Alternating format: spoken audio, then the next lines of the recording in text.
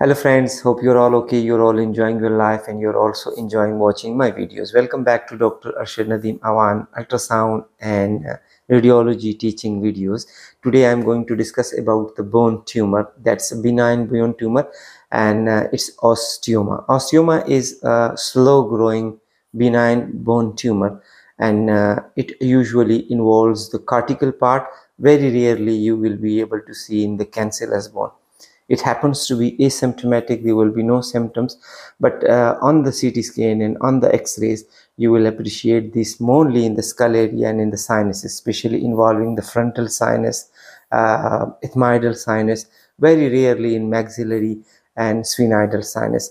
Uh, so the main symptom sometime if it gets blocked it may result into the mucocele or sometime is csf uh, rhinorrhea. It may be caused by the osteoma on the x-rays and on ct it will appears highly echogenic and uh, this echogenicity will be in the medullary cavity uh, and uh, as i mentioned that usually involve the paranasal sinuses uh, especially the frontal sinuses on the x-rays you may come across with a very solid echogenic lesion uh, Sometimes it may involve the pelvis, uh, the, the, spine region as well, uh, resulting into painful scoliosis, but very rarely.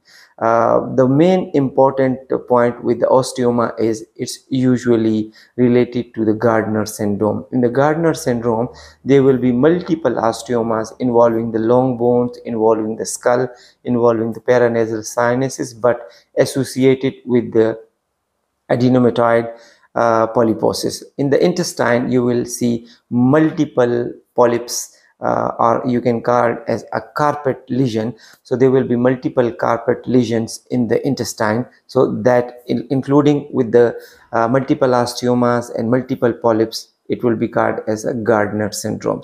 How it will appear on the x-rays, how it will appear on the CT images. So let's start watching these images.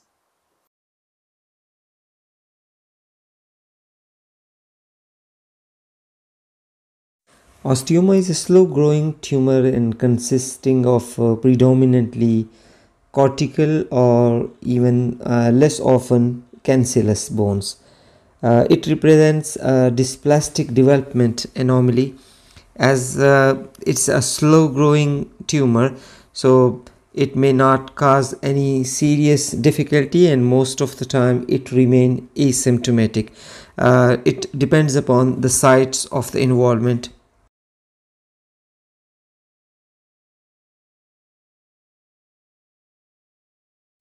As being a slow growing tumor, it usually remain asymptomatic.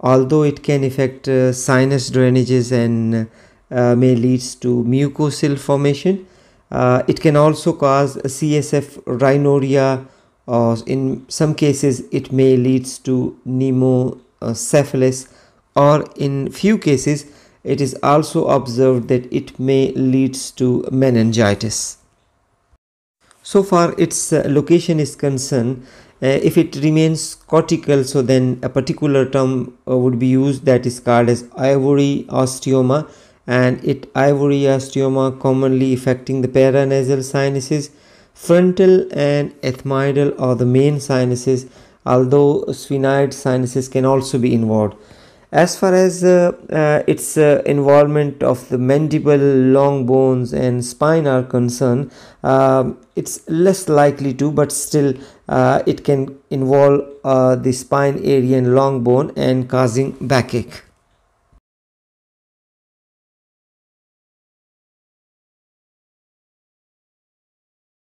It is a skull radiograph in AP and uh, lateral projections here you can appreciate an a homogeneous, smooth, dense lesion, a well-defined and spherical margins involving the right-sided frontal sinus.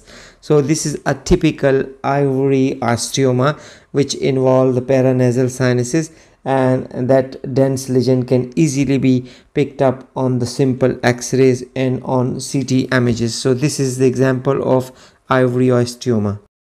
This is another image is a CT scan and on this CT scan slice you can appreciate a well-defined dense uh, lesion, bony lesion uh, which is coming out from the left sided frontal sinusing uh, going downward and to some extent involving the lamina papyracea, uh, the medial wall of the orbital cavity. So this is uh, another example of the ivory osteoma. As I mentioned earlier that uh, this less often found within the medulla and the long bones here on this x-ray you can appreciate multiple osteomas involving the femur. Here you can appreciate these uh, white arrows are indicating uh, the multiple osteomas. So mind you one thing that multiple osteoma is along with the small polyps uh, multiple polyps in the colon is a feature of Gardner syndrome. So this is one of the very important point in the Gardner syndrome is that there will be multiple osteoma associated uh, with the multiple uh, familial polyposis. In this spine image you can appreciate again there is a, osteoma which is involving the spinal area vertebral bodies and this may be the reason for causing the backache. So sometime incidentally you can appreciate this osteomas.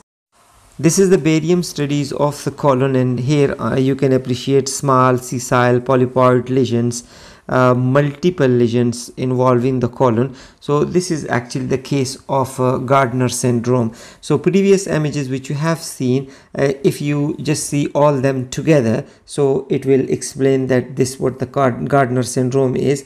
You there must be multiple osteomas on the long bone. There will be osteomas in the uh, frontal or ethmoidal sinuses or there may be involvement of the uh, spinal region or vertebral body. So this all together will be the presentation of the Gardner syndrome. So Gardner syndrome is a syndrome where there is a multiple polyposis uh, in the colon region associated with extra uh, extra lesions uh, maybe osteomas or maybe epidermoid cyst and uh, maybe some other lesion in the stomach